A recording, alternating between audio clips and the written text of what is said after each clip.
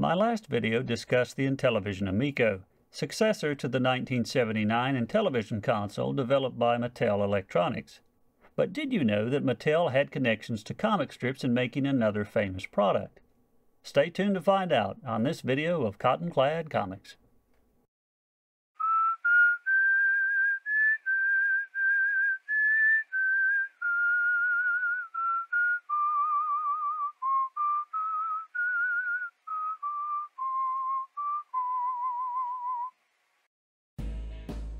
Mattel's Barbie enjoys worldwide recognition. From video games and books to pop music and blockbuster cinema, few toys have enjoyed such an impact on society as has the long-legged polymath who is Barbie. But would it surprise you to know that Barbie had her origins in comic strips? Harold Matt Matson, Elliot Handler, and Ruth Handler formed the toy company Mattel in 1945. While it enjoyed a fair amount of pre-Barbie success throughout the 1950s, it was in 1959 that they launched their defining product for the company, unless you prefer 1968's Hot Wheels to Barbie. Ruth Handler had been trying to get a doll into Mattel's lineup, but her efforts always failed. But while traveling in Germany in 1956, she discovered Lilli, a doll sharing striking similarities to what would become Mattel's Barbie. Since 1952, the German tabloid newspaper Bild ran a somewhat adult-oriented comic strip named Lilli, created by Reinhard Beuthien.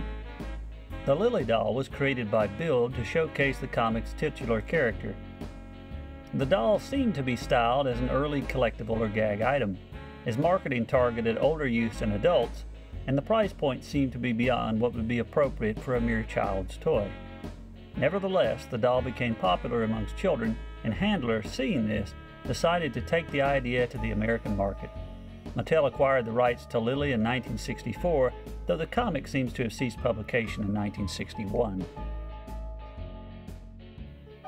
As has been said, the comic strip is aimed at adults, and while what humor they relate is tame by today's standards, it does deal in innuendo and other flirtations.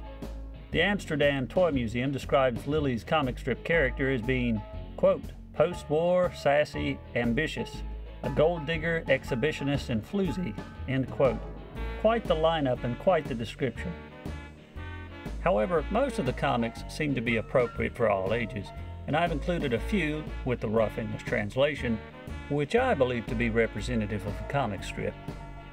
Everything that follows would feel comfortable inside an Archie comic. My ski instructor really gave himself every conceivable effort, but we rarely got to ski. Either you praise me for who I am, or you don't. If you're in debt, you don't have to make such a depressed face. It's enough for your creditors to do it. Oh, can you help me up? Yes, do you think I'll invite you to sit down with me? Now that you've spent two hours telling me what you think of Freud's theory, may I now spend two minutes telling you what I think about you? And as a skirt hunter, you seem to be very successful. Of course, I've been out long enough, but my office supervisor is sitting on the bank, from whom I had a leave of absence today because of a bad cold. I'm sorry, Pauchon. I'll never look at the shop windows again when I'm driving your car. While Mattel lifted Barbie out of Germany's Lilli, was Lilli herself inspired by a comic strip from the States? While reading Lilli, I was struck by the similarities to Gladys Parker's comic strip Mopsy. Mopsy ran from 1937 until 1966 and starred Mopsy, a trouble-finding, long-legged lady whom Parker based after herself.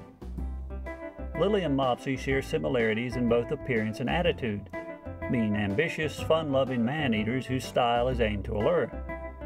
As an aside, the impetus for Mopsy itself was a remark made by the great Rube Goldberg when he told Parker that her hair looked like a mop.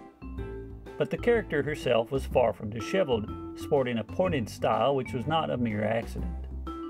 Parker was a lady of many talents, and one of those talents was fashion designing.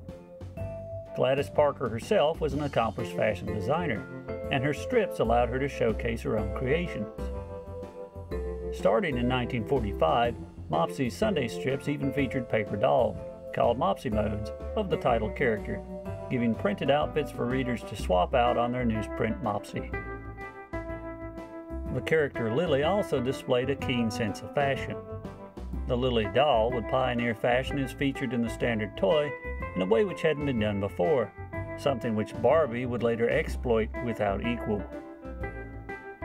While this is an interesting idea, there are no hard facts to link Gladys Parker and Reinhard Beuthien, though surely the German cartoonist would have known of the popular American work which, by the time of the creation of Lilli in 1952, had been running for 15 years and was seen in hundreds of newspapers.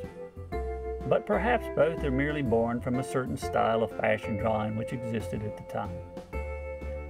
We may never know if one influenced the other, but what we do know is that without the sharp-tongued Fraulein Lilli gracing the pages of Bild, Barbie would probably never have been. Auf Wiedersehen.